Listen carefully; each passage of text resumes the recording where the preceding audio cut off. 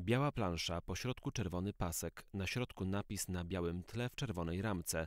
Szóste Seminarium Europejskie IDR, instytucje Unii Europejskiej, stan obecny i kierunki zmian. Pod ramką napis Kazimierz nad Wisłą, 10 marca 2023 roku. Otwarcie seminarium. Witam wszystkich obecnych na czele e, z prelegentami. E, Za chwilę dołączy do nas e, pan minister Jac- Jacek Sariusz-Wolski online e, z Brukseli. Tutaj w tym podium już siedzi profesor Grosse, pani profesor Łabno, doktor Sobolewski. Online dołączy do nas za chwilę pani profesor Grabowska i pan profesor Bryk. Bardzo się cieszę, że to wydarzenie doszło do skutku. To jest jakby inicjatywa pani profesor Grabowskiej, która jest członkinią Rady Naukowej przy Instytucie e, De Republika.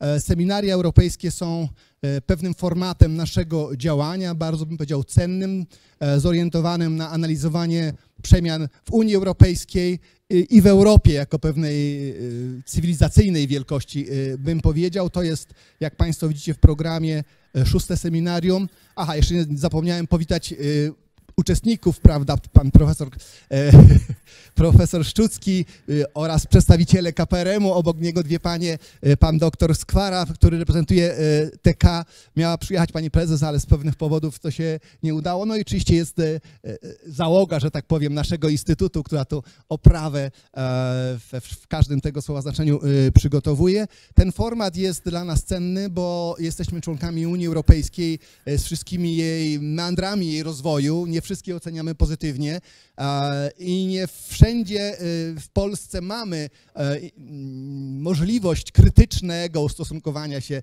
do kierunków e, rozwoju Uni- Unii Europejskiej. E, Jest to w tej chwili, z tego co widzicie Państwo w programie, szóste seminarium.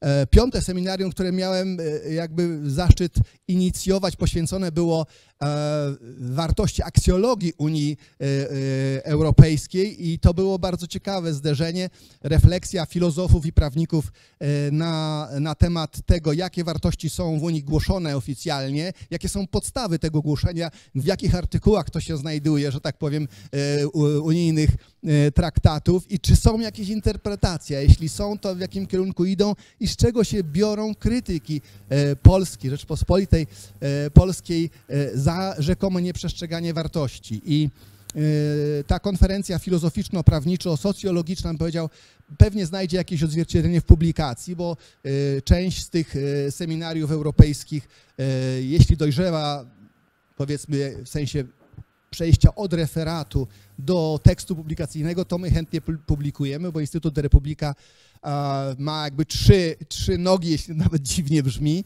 e, popularyzatorską, e, naukową w sensie czy badawczą, w sensie inspirowania bardziej badań niż ich przeprowadzania, no ale być może najważniejszą jest ta część wydawnicza. E, Byliśmy niedawno dumni z tego, że mogliśmy zaprezentować piękny album na temat Mazurka Dąbrowskiego. Ta prezentacja i ten album odbił się szerokim echem. Codziennie sprzedajemy kilka egzemplarzy i w mediach pojawiają się na ten temat informacje, ale są inne ciekawe książki, które również są zakupywane i, e, i to pokazuje, że ta działalność nasza nieco niszowa, ale jednak wypełniająca ważną potrzebę, niezauważaną czasami przez duże wydawnictwa czy przez instytuty naukowe e, jest, e, jest niezwykle e, cenna. Ja jestem ciekaw, jak przebiegnie nasze obecne seminarium. Temat jest bardzo ważny. Instytucje Unii Europejskiej, stan obecny i kierunki e, zmian. I jak się możemy, do, znaczy jak obserwujemy, można powiedzieć, nie musimy się domyśleć, obserwujemy bardzo osobliwy rozwój Unii Europejskiej, czegoś, co było, wstąpienie do czego było naszym ongiś marzeniem, a teraz staje się e, pewnym problemem dla nas, dlatego że kierunek rozwoju Unii e, próbuje zmienić, że tak powiem, tradycyjne sposoby funkcjonowania naszego społeczeństwa, narzucić nam schematy, które nam są e, obce pod groźbą rozmaitych kar. I dzieje się to poprzez zawłaszczanie kompetencji nie, nie tra- pozatraktatowych przez rozmaite instytucje. I myślę, że referaty nam przybliżą różne e, aspekty e, tego zagadnienia. To tyle ode mnie. Dwa zdania, że tak powiem, skierowane do Państwa, ale też do e, swojego dawnego pracodawcy, pana ministra Sariusza Wolskiego, chciałaby moja zastępczyni, pani Joanna Gepfert skierować. Oddaję pani głos. Dziękuję bardzo. Czy już mamy łączenie z Bru- Brukselą? Dzisiaj Bruksela, tak? Bruksela albo Warszawa.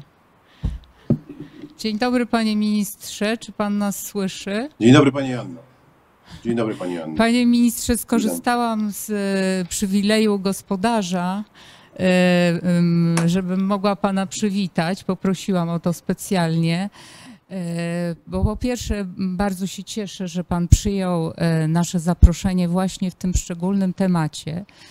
Em, Ale po drugie, e, z, e, niezwykłym, z niezwykłą ciekawością i zainteresowaniem e, usłyszę e, Pana referat e, osoby, która prowadziła negocjacje e, stowarzyszeniowe. Ja, mnie w pamięci także utkwił ten, e, ten ważny moment, w którym to właśnie Pan zerwał te, e, te e, negocjacje, kiedy dochodziliśmy już jako Polska do ściany. Następnie złożył Pan wniosek członkowski i e, ta ewolucja, wczoraj właśnie podczas, e, e, podczas kolacji też rozmawialiśmy na ten temat, czy wchodzi, wchodziliśmy do tej samej Unii, czy nie do tej samej, czy już wtedy się pojawiły symptomy tego, co teraz. Będzie ciekawe bardzo usłyszeć Pana refleksję na ten temat i bardzo jeszcze raz cieszę się, że mogłam Pana powitać na tym seminarium i cieszę się, że Pan je właśnie otwiera. Dziękuję bardzo e, za te słowa. Jest właściwie punktualnie dziesiąta. E, Panie ministrze, 30 minut na Pana wystąpienie. Byłbym wdzięczny, gdyby się udało w 25 minut je zamknąć, żebyśmy mieli szansę na jakieś jedno, dwa, trzy pytania, e, bo oddzielnej jakby części na dyskusję tutaj nie, nie, nie, nie ma, mm, więc, ale oczywiście jeśli, jeśli to będzie 30 minut, to, to, to zaakceptujemy. Tylko prosimy w 30 minut. Proszę, oddaję głos.